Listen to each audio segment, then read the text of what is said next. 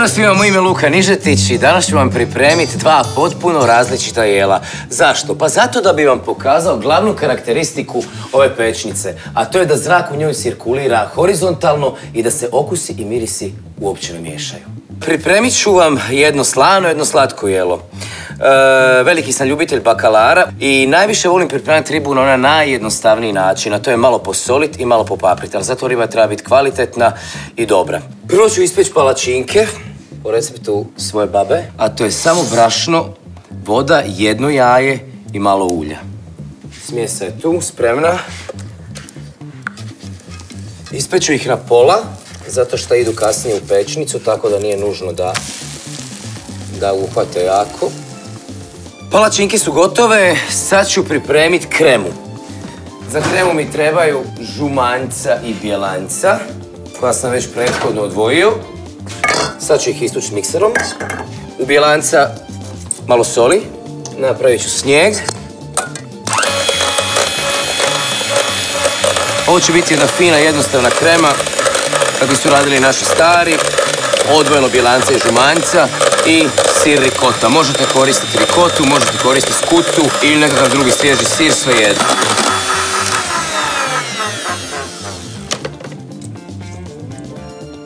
Dobro je.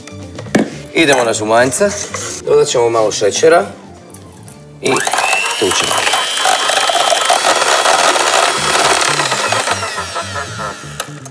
Vanilija štapić. Ovo ga zarežemo po sredini i sve mrvice istresemo.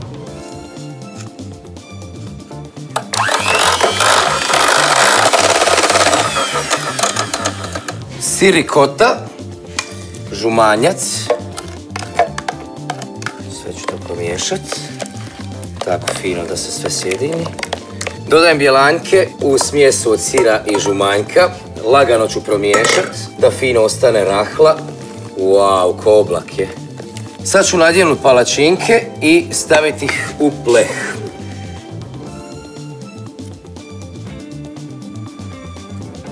I slažemo. Pripremio sam smjesu od jaja, milerama i šećera. To ću preliti po palačinkama. Posolit ću popaprit ribu i sve zajedno ide u pečnicu. Još malo maslinovog po bakalaru. Bakalar i palačinke. E, dok bi se ribe i palačinke peku, ja ću pripremiti e, prilog za bakalar. To će biti e, pak čoj, jako se jako kratko obrađuje. Ja ću ga baciti samo na malo mladog luka, vrlo kratko na tavu i to će biti to.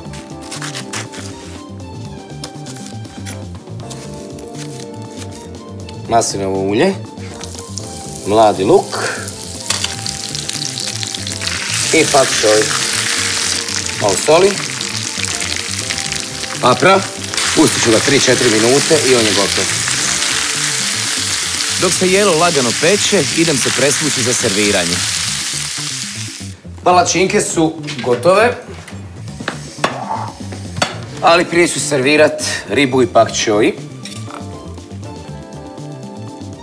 Neki dan sam na poklon dobio od prijatelja sušenu ružu i različak. Zašto ne isprobati? I kušanje.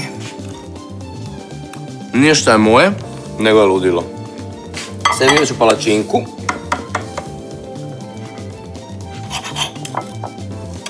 Mmm, one su poput oblaka. Ovo je ludilo. Ja sam zadovoljan, a nadam se da će biti moji gosti.